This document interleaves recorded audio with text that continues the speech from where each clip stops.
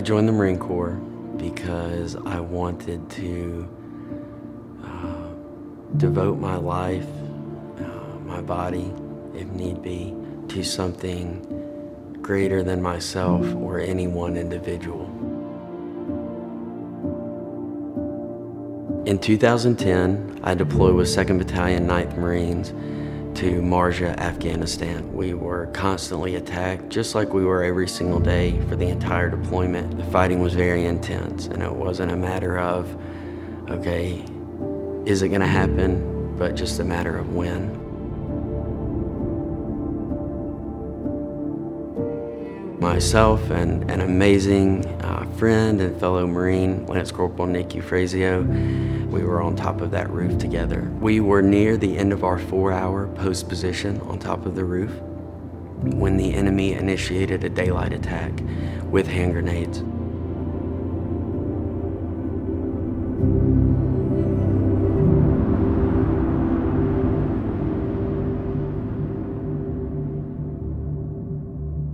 I felt like I got hit really hard in the face. My vision was as if I was looking at a TV with no connection. It was just white and gray static. I thought about my family and how devastated they were going to be, especially my mother, that I didn't make it home from Afghanistan. And uh, I closed my eyes and I faded out of consciousness for what I thought was going to be my last time on this earth.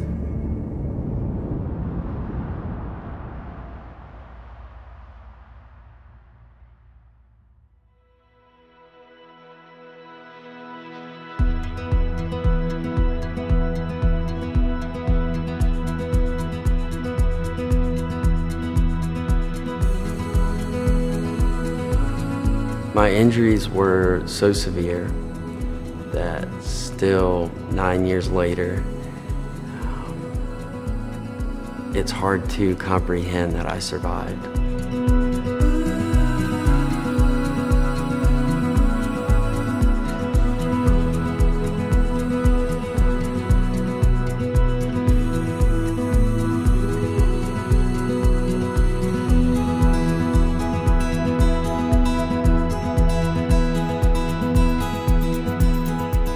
I would encourage future generations.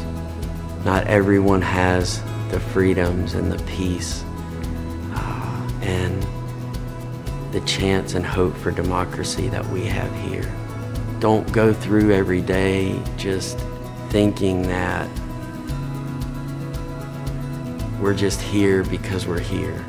You know, we got here because of um, incredible amounts of courage and sacrifice.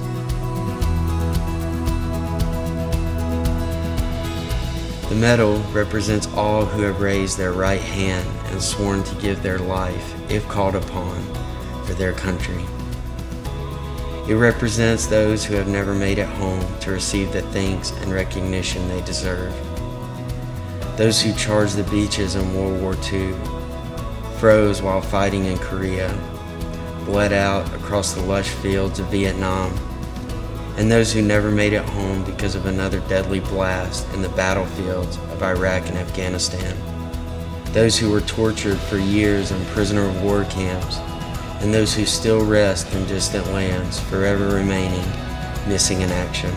The medal represents the parents, husbands, wives, and loved ones who have heard the dreaded knock on their front doors to find a telegram or service member delivering the unbearable news. This is where the true weight of the medal is carried. Being a Medal of Honor recipient is a beautiful burden, but one I am honored to carry.